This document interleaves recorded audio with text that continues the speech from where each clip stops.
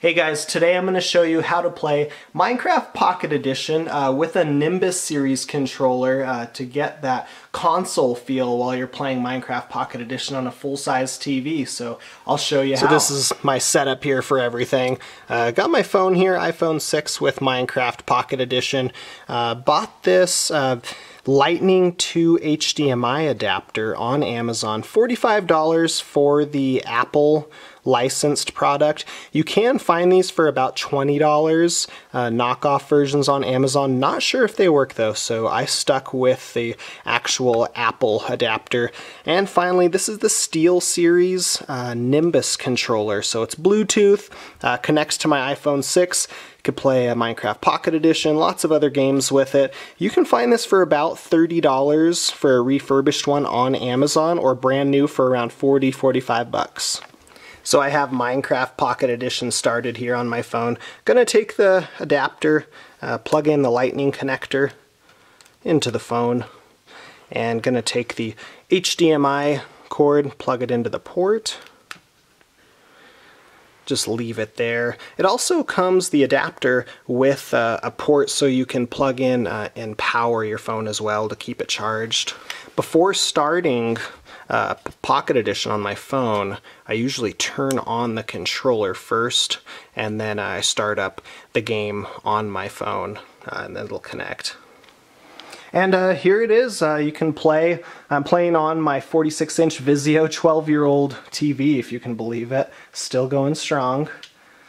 Um, let's work through the menus here. We'll pull up a world. Controls are uh, about the same as Xbox. So you have the uh, right trigger uh, to destroy, left trigger uh, place things. Uh, the controller also feels Xbox 360-ish to me. Uh, you have, uh, you know, the two thumbsticks. It feels like, oh, similar to an Xbox 360 controller.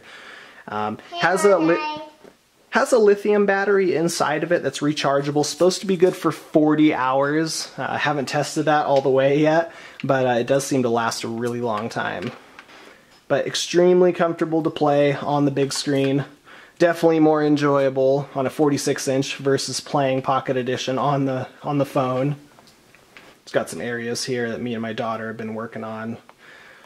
So fun to play at home. Uh, you can also play it on vacations in hotels. Uh, usually hotels have flat screen TVs now, HDMI ports, so you can hook up and play in the hotel if you guys are doing Disney, something like that. And yeah, just super fun here. Controller's great. Um, the there's a tiny bit of lag between the Bluetooth controller and the the HDMI to lightning connector, but you adapt super quickly. I mean, it's, it's barely noticeable. Yeah, this, this controller is great. I mean, if you can pick it up on Amazon for $30 shipped, I mean, it's a great bargain, uh, this Bluetooth controller. So works great with uh, Minecraft Pocket Edition. Played some other uh, Sega games with Sonic. Uh, worked really well. So uh, it, it's designed great. Has great reviews on Amazon.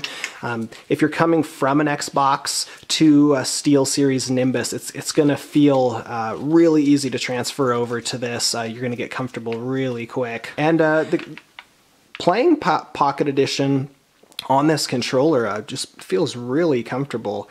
Um, that lag is super minimal. Uh, not really anything that I'm concerned about. You'll adapt quickly again. So there you have it to play a Pocket Edition Minecraft on a full-size TV. Um, just need this Lightning digital AV adapter. I spent uh, the $45 and got the licensed uh, version of the adapter. You guys can try the $20 knockoff ones on Amazon, see if that works. I'm not sure if it will. And the SteelSeries Nimbus controller, uh, great setup to play Pocket Minecraft Edition or Minecraft Pocket Edition on a full-size TV. So if you like this video, give us a like, and uh, we will see you next time. Thanks so much for watching, and take care. Bye.